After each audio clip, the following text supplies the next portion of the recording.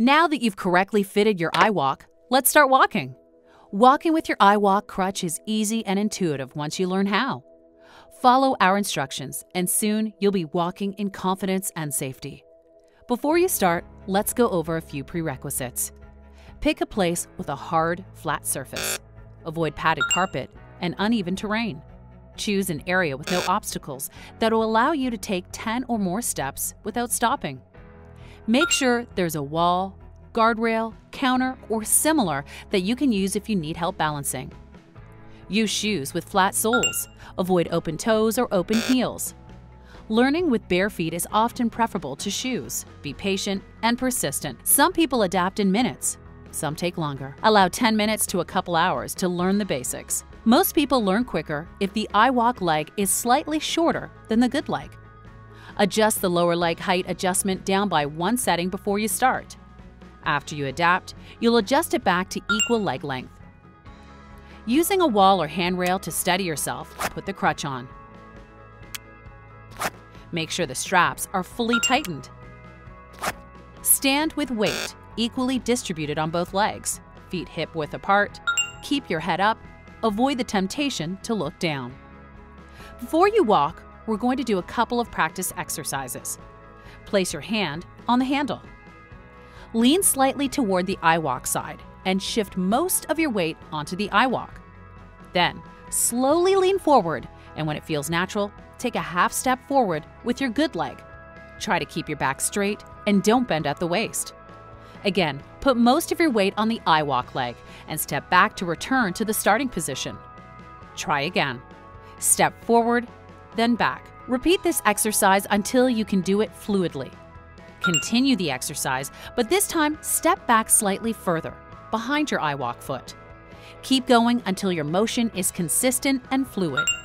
Okay, now it's time to try walking. First, check to make sure your straps are still fully tightened. Repeat the exercise, and when you're ready, instead of stepping back, continue walking forward. Keep your hand on the handle and remember to put the majority of your weight on the iWalk side. Once you've started walking, don't stop. When you need to turn around, steady yourself with a wall, rail, back of a chair, or whatever is available. Turn around by putting all your weight on the good leg, then pivot on your good leg until you make the turn. Return to the start position. Lean slightly toward the iWalk side, putting most of your weight on the iWalk. Like before, lean forward slightly and start walking, starting with your good leg.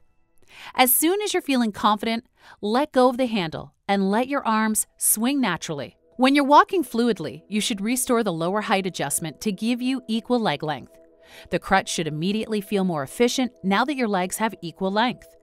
If you're feeling fatigue in your good leg, glutes, or lower back, that's normal and will resolve as you adapt. Give it some time. Congratulations, you've made it through the basic adaptations for walking. In this section, we're going to show you how to optimize the fit of your iWalk for maximum efficiency. When standing or walking, you want the tread to be in full contact with the ground when you walk. Walking on the outside of the foot or the inside of the foot makes walking more difficult. This happens because your particular leg shape is causing the iWalk to angle in or out relative to vertical, but it's easy to fix, and it's done by adjusting the thigh supports. First, note that you have both an inner thigh support and an outer thigh support. Start by taking the crutch off and loosening the thumb screws. Note your initial numbered settings. Here's what to do if you're walking on the outside edge of the foot. Lift and rotate the outer thigh support outwardly to increase the number setting by 1. Finish by rotating the inner thigh support inwardly to decrease the number setting by 1. Then, tighten the thumb screw. Test your new settings. If you're still walking on the outer edge of the foot, Repeat the process until you're walking with the entire width of the tread contacting the ground. If you're walking on the inside edge of the tread, do the opposite. Lift and rotate the inner thigh support outwardly to increase the numbered setting by 1. Finish by rotating the outer thigh support inwardly to decrease the numbered setting by 1. Then, tighten the thumb screws. Test your new settings. If you're still walking on the inner edge of the foot, repeat the process until you're walking with the entire width of the tread contacting the ground.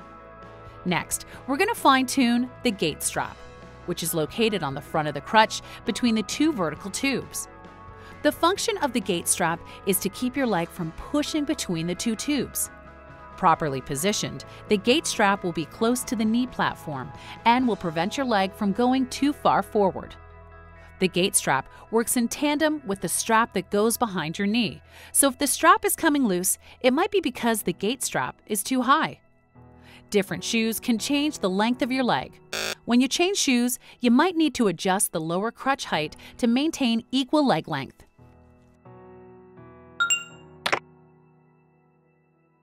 One of the best things about the iWalk is that it allows you to use the stairs safely. When ascending or descending stairs, always use the handrail. To go up, start with your good leg. Follow with the iWalk leg, going one step at a time. Then repeat. The recommended way to descend the stairs is to go down backwards. Start with your iWalk leg, followed by your good leg. Continue to descend one step at a time. An alternative method is to descend facing forward. This method only works if the handrail is on the opposite side of your iWalk leg. Start with your iWalk leg. You cannot go straight down the stairs because your injured foot may hit the uphill step. Instead, turn partially sideways before descending. This allows your injured foot to clear the uphill step. Follow with the good leg and continue descending. When walking up or down steep slopes, use the same technique as you would on stairs. If you have an assistant, try not to rely on them any more than is necessary. Over reliance on an assistant can increase the time it takes you to learn. After you've mastered your iWalk, for short trips, you can walk without strapping in. Use the handle to keep the crutch firmly in contact with your upper and lower leg.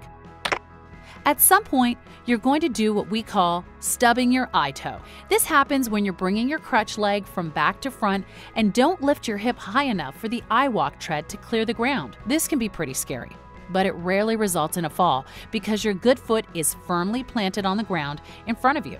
A quick hop is usually the worst thing that happens. This condition will typically self resolve pretty quickly. If you're still having trouble walking, our tech support staff will help troubleshoot. Small adjustments can make a big difference. If possible, use your phone. Take a video of you using your iWalk. Position the camera so we can see you head to foot and take at least five steps towards the camera. Then turn around and take at least five steps away from the camera. Send us your video via the tech support page of our website, and an iWalk free technician will evaluate and make recommendations for improvements.